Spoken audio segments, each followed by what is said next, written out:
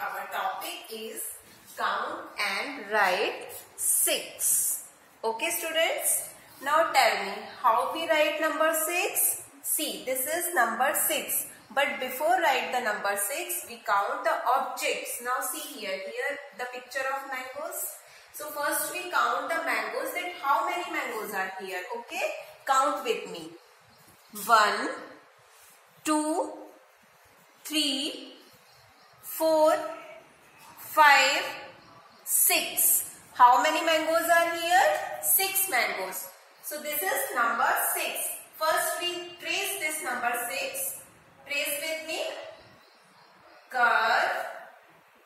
Then join this here like this. This is number 6. Now see here this is number 6 and in each box I give two dots. So start a first dot, curve, then join this line here. This is 6. Curve, then join this here. 6. Curve, then join this line here. This is number 6. Students, your book activity word 1A page number 113 113 on this page number 6 is here. See here are some stars. So first we count the stars then trace the number 6 then write here number 6. See here some dots are here. We slowly slowly join these dots like this and join this line here this is number 6. Slowly, slowly you join the dots and join this line here. This is number 6. Okay, here all dots are here. But in these box only one dot. So how we will write in these box? Start with me. Put your pencil on the dot and make a curve and join this line here. This is number 6.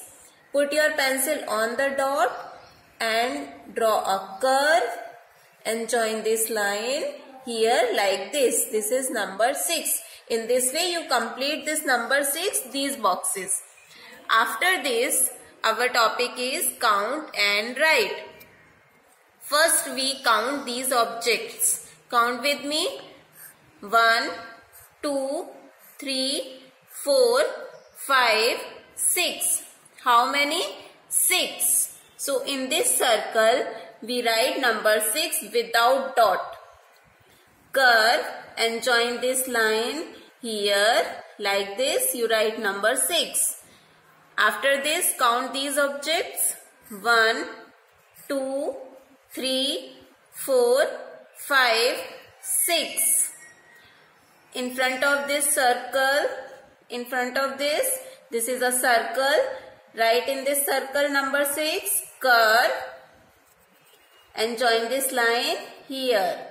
This is number 6 dear parents uh, in maths notebook box notebook you put the heading on the first line count and write 6 after this you write 6 then draw mangoes, 6 mangoes. So first your child count the mangoes. 1, 2, 3, 4, 5, 6. Then trace the number 6 like this. After this first line, you only write the number 6 in whole line. Then give two dots in each box. Now students, how you write the number 6 in notebook. Put your pencil on the first dot and draw a curve like this. Then join this line here. Like this you write number 6. Put your pencil on the first dot and draw a curve. Join this line here. This is number 6. Like this you write number 6. Dear parent, make your